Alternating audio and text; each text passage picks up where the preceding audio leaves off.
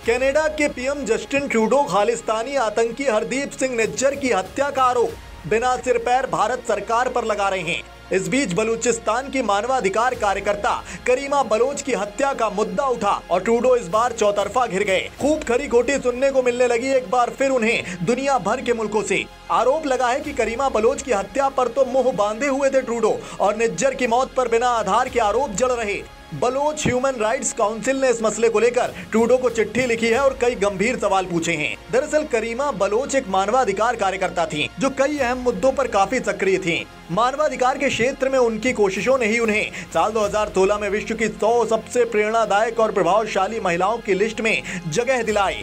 Canada के Toronto में रह रही करीमा 20 दिसंबर 2020 को अचानक लापता हो गई और अगले दिन टोरंटो से ही उनका शव बरामद हुआ। उनकी मौत को तमाम समर्थक एक बड़ी साजिश करार देते रहे हैं और अब ट्रूडो की ओर से खालिस्तानी आतंकी निज्जर की हत्या का मुद्दा उठाए जाने के बाद करीमा बलोच की मौत पर चुप्पी साधने का आरोप लगने लगा है ट्रूडो पर। बलूचिस्तान मानवाधिकार की ओर से उन्हें चिट्ठी लिखकर गंभीर सवाल पूछे गए हैं कि भाई, ये हिपोक्रेसी क्यों है?